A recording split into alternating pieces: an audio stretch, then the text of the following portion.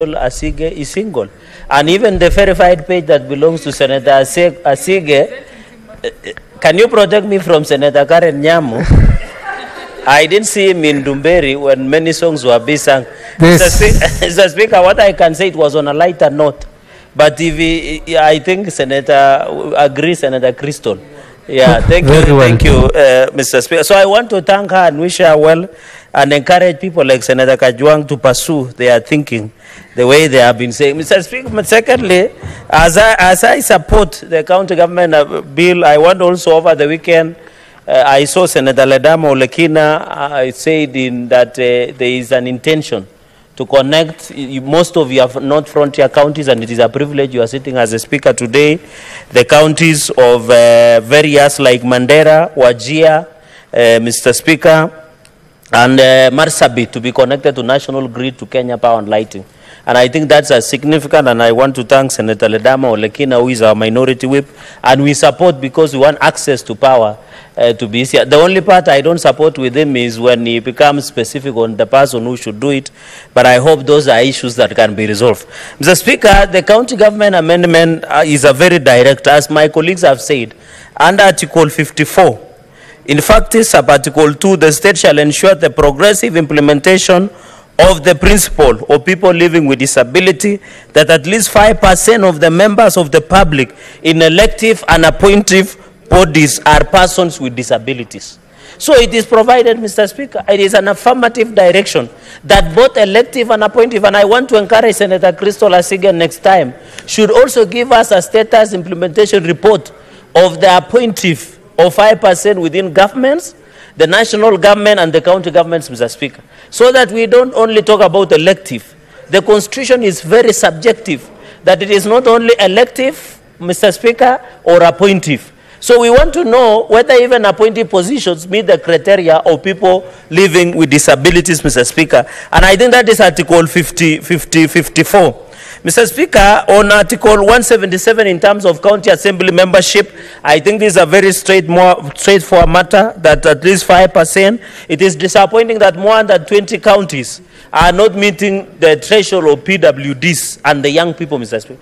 The biggest challenge we have as a country as we talk today is the ballooning youth across the country. We need to hear their voices in county assemblies.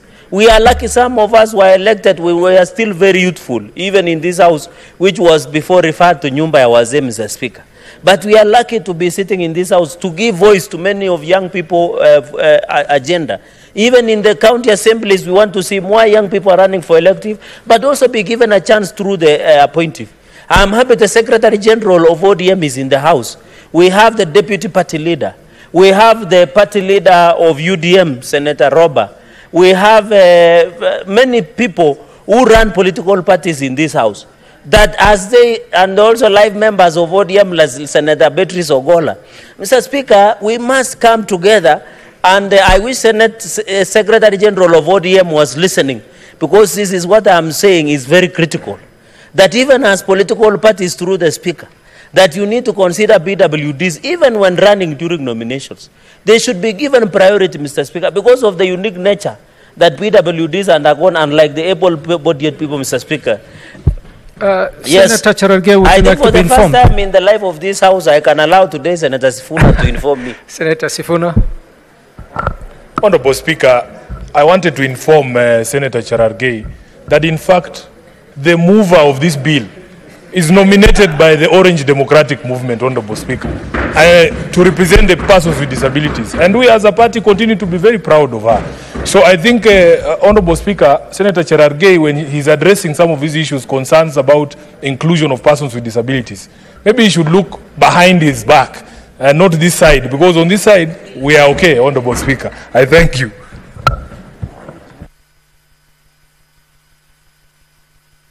Mr. Speaker, I want to thank the SG uh, Nairobi City Senator for that powerful, and I want to commend the ODM also for nominating uh, Senator Crystal Asige. I have taken judicial notice. I'm happy also on our side, Senator Mbukful. Comments has been very important going into the. And by the way, Senator Crystal Asige, Senator Crystal Asige, she's an, uh, also a very accomplished musician. And I was lucky with Senator Karen alongside. We did attend her launch, and it was very wonderful and beautiful. So the people living with disability can make a mark, Mr. Speaker. The third point I want to make is on the 5%. I think the young people, where 20 counties, they must be called out. I want to challenge the IBC. I know IBC is not fully constituted as at now.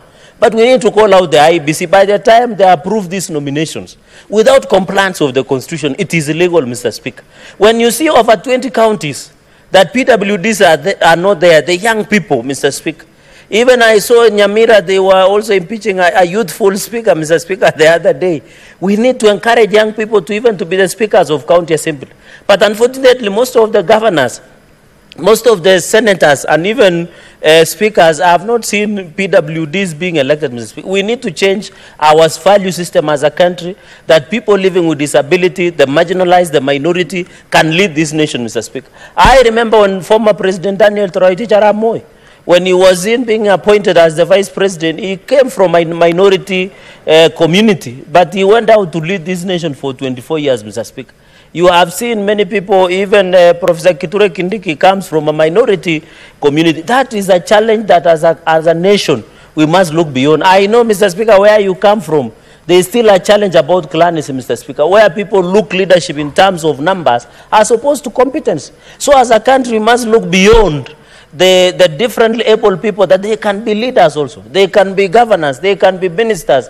They can, I remember there was a PS, Mr. Speaker, who was who delivered in the last uh, parliament, uh, Mugobe, or the PS the, the, with the stored uh, diminutive stature, who was the PS, I think, in charge of education. She used to come from Western Mr. Even the late Professor Godia. Mr. Speaker, we must agree, and I'm happy in 2020, the Ministry of Health has defined on what disability means. And I want to ask Senator Crystal Asige to keep uh, the fire burning uh, and ensure that these interests are represented, Mr. Speaker. Mr. Speaker, in conclusion, uh, this one uh, on the youth, I think young people also have a chance. You saw the explosion of Gen Z protests the other day, Mr. Speaker.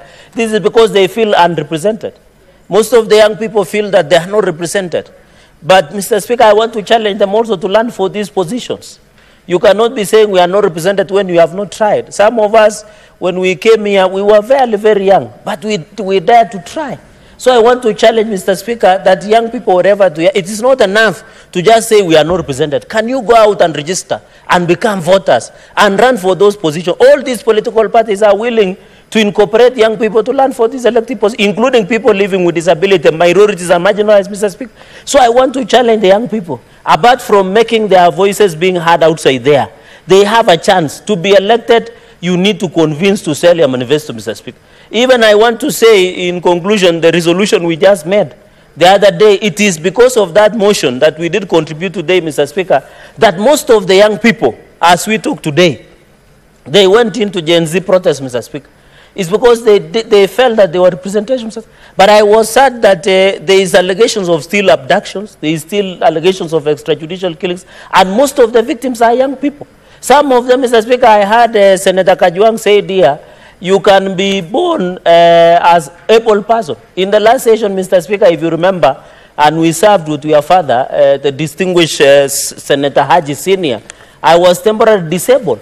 So the issue of disability, Mr. Speaker, I was only disabled in terms of my limbs, not any other thing was disabled, Mr. Speaker. But uh, there was a challenge. I realized, Mr. Speaker, that you can be disabled. It is not, uh, the, you, you have had even accidents happen, Mr. Speaker. Anything can happen, Mr. Speaker. If Senator Crystal Asige will tell you the, her story, everybody as a Kenyan has encountered. So even what we are seeing, people who are maimed because of Gen Z protests, there is abductions, there are allegations of abductions. There is people being followed. I saw it the other day that there is a young man who is not able to afford to pay for, for surgery, Mr. Speaker. I saw it today in the news. Mr. Speaker, and even I'm disappointed that the allegations that Safaricom is sharing triangulation coordinates for, for, for, for, for the police and DCI to arrest Kenyans, Mr. Speaker, that is infringing right of privacy. And I want to agree with you, Speaker, that the, the, the Committee of National Security should invite the Inspector General of Police. Why would you share the location and even the SMS and the, where the coordinates of the person of a Kenyan is? That is infringing right to privacy. And to do that, Mr. Speaker, you must get a court order. So the, if what I saw in Nation newspaper today is very unfortunate. Even data protection. Speaker, I have been a victim for the last one week. My phone has been called. I have received insults. I have received praises. As we talk today, my, my phone, Mr. Speaker, has over 12,000 messages, SMSs. I have close to 20,000 WhatsApp, Mr. Speaker. I have received so many phone calls, and there is a data privacy breach that no one is addressing, Mr. Speaker. And they are salamiering me. By the way, I want to report to the House on all those, even the email of Senate is approaching half a million email uh, that reacted to my bill, Mr. Speaker. And Kenyans are 60 40. As at now, 60% of Kenyans are supporting my bill, 40% are opposing. As the usual triangulations, Mr. Speaker, in terms of SMSs, in terms of WhatsApp, in terms of even Facebook update and social media, both in X account, Mr. Speaker. So I want to call, I want to agree with Senator Crystal that the issue of data privacy should be protected. Why would a police know that I slept in somewhere and come and arrest and abduct me, Mr. Speaker? The Inspector General of Police must be called, Mr. Speaker, uh, to order, and Safaricom also must be called to order. The fact that they have privilege of our data should not be allowed to abuse. Even Kenya Power and Lighting, Mr. Speaker, why are they sharing the data of where you live and the payments you have made in your houses? We must, and I want to challenge the national security. There is vice chairperson of national security here that should be, yes? Yes, Senator Osotsi can inform me. Okay, Senator Osotsi. Uh, Mr. Speaker, I want to inform my neighbor and my good friend Cherargei that uh, we are having challenges with the exposure of private data because of the inefficiency of uh, the data office of the Data Protection Commission, which uh, uh, the ICTD committee has brought a number of uh, statements here on that matter. So I think for us to make progress on the issue of privacy of data, we need to start dealing with this office called the Office of Data Protection Commission. Mr. Speaker, in conclusion, as I celebrate this tremendous work by Senator Crystal Asige, Mr. Speaker, is to agree as members of ICT, we should take it as a priority, but also to encourage members, Mr. Speaker, the way we are giving accolades to Senator Crystal Asige, we should also give accolades to Senator Cherargei. Mr. Speaker, I've seen my colleagues bashing me in funerals and birthday party and baby showers over my proposals in the House. I want to appeal for love also, Mr. Speaker. I'm also a human being, Mr. Speaker, so you should not be hard on me. Can you be just be whispering some of this Solomonic wisdom when need arises? Mr. Speaker, with those very many remarks, I beg to support this bill and see it to fruition. I thank you, Mr. Speaker. Thank you, Senator. Senator Mogeni.